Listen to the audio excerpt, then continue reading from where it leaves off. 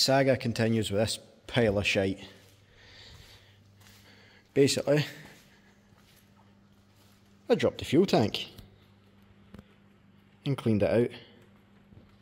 All that gunk, all that crap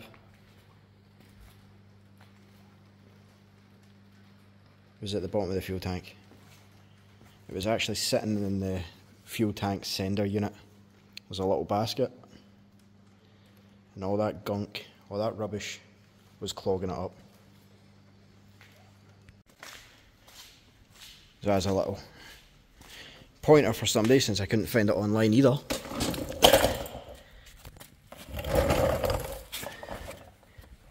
If you decide to remove your fuel tank, there is two straps.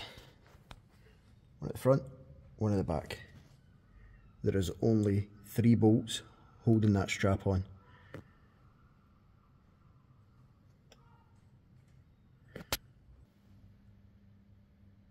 So that's one bolt, which is at the rear, in the middle of the truck.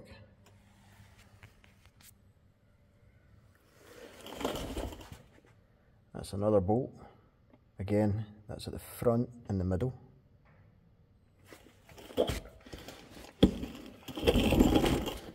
Your other one is right up against the chassis.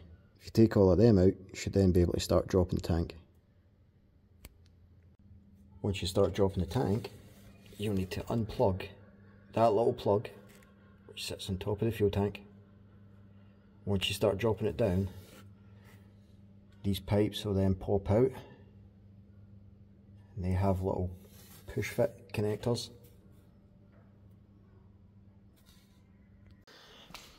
Now another answer that I couldn't find online is how the fuck do you get the push connectors out?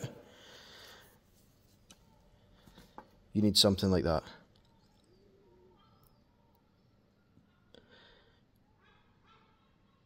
Push together and then it should spring out.